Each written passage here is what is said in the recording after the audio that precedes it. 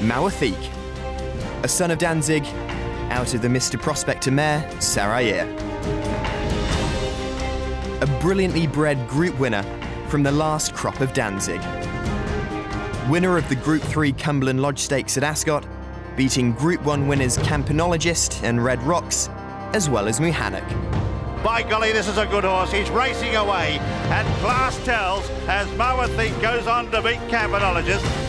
Second to twice over in the Group 1 Champion Stakes at Newmarket, beating Group 1 winners Sariska and Fame and Glory. From the top class family of three recent classic performers.